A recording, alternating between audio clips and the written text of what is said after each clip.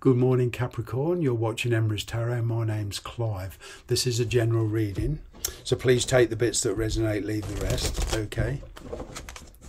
Please don't try and make it fit. This could lead you to some wrong conclusions. So, messages for the sign of Capricorn.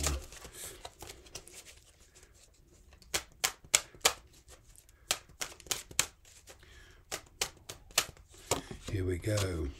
Dealing with somebody that you've been you've struggled with for a long time to get you onto the same page. You both wanted very, very different things.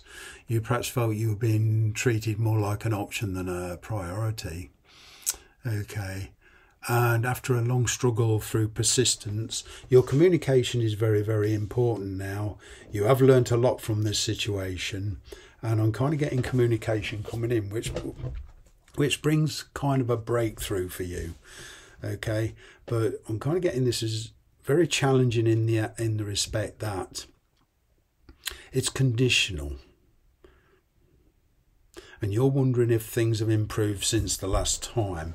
I'm getting last time it was a very superficial connection because of marriage different values. But there was a wedge driven an emotional and spiritual wedge driven between you and this person.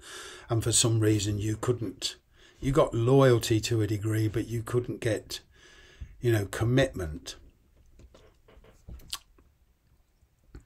Okay, I am picking up a reconnection here, but this time you're determined it's very, very different. Now, because I'm kind of getting that you are, you feel like you're stuck in the middle between the past and the, the present and the future. Okay,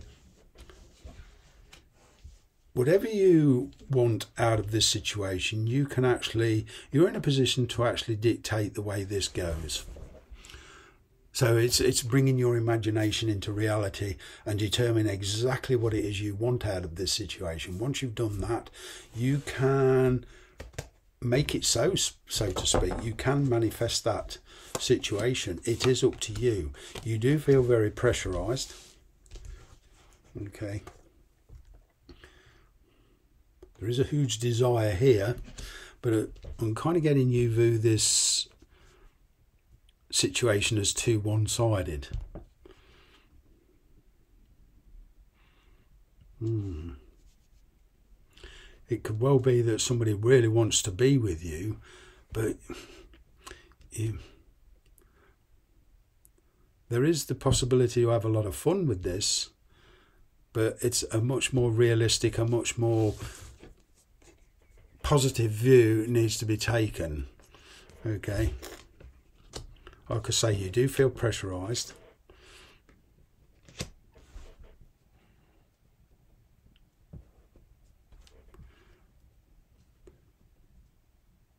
But this nine of swords here and this this well success, uh, it it will resolve a lot of issues between you and this person, but it will also create create an awful lot of new challenges for you.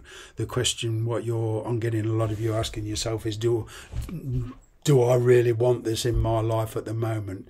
You know, you want love, you want relationships to be easy. This for you feels like too much pressure, too much hard work. Okay. And as much as you've tried in the past, the situation with this other person's concerned. I'm getting a lot of fire energy here, Aries, Leo, Sagittarius. You do feel that they want something from you that you're not willing to commit to. There is the, you have learnt an awful lot from this person. Okay, and there is a decision here. The decision is in your hands. Okay, and if you do want to go forward with this person, it's a question of coming out of the shadows. Okay, being much more open and manifesting ways and overcoming the challenges to bring your dreams uh, into reality. Okay, you know, for example, you know, in my life when I used to live on Gran Canaria, I've met many people. Oh, I'd like to live out here but it's that it's that but it's the overcoming the fear it's stepping out of the comfort zone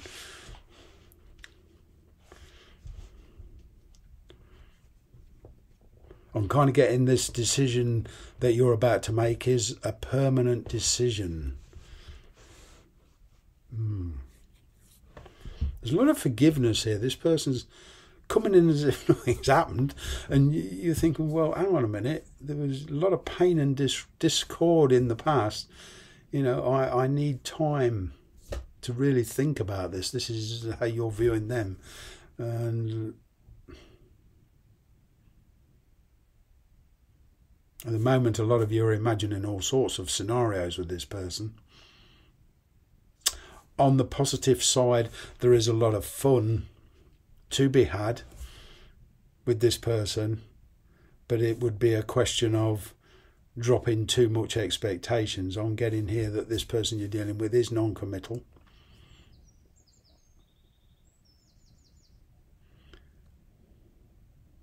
This person loves their freedom.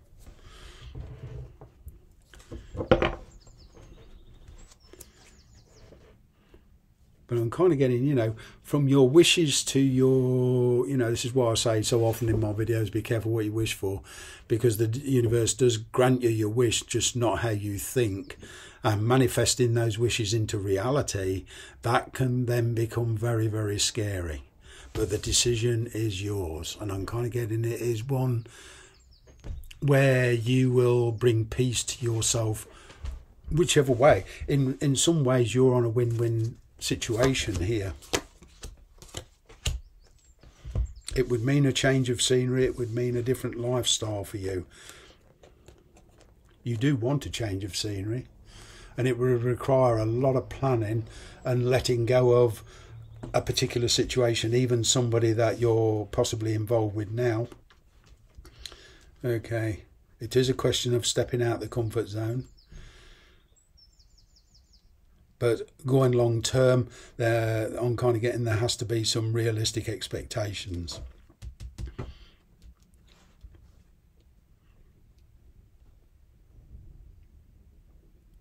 I'm getting that some of you are, you know, in a fairly comfortable position at the moment. Whether that is work or living with somebody or even married to somebody, you know, there's there's a question of putting here something on the back burner, but you know you can't just come and return.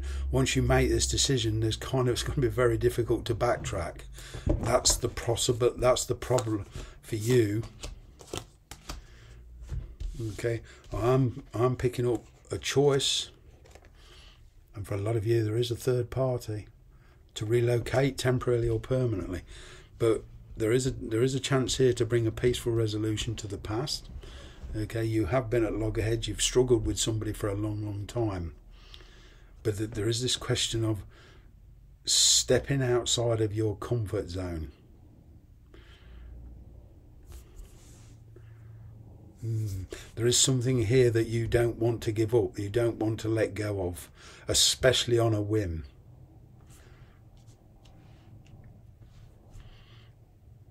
Your tenacity and hard work is paying you off. And this is actually a gift from the universe. But it's a very, very uncomfortable gift, so to speak, from your perspective. But it is a gift nonetheless. You, you're getting your wish. You're getting your wish. Now it's becoming a reality. Mm. Mm. You do see this as very risky and you're not sure whether you want to take that risk or not.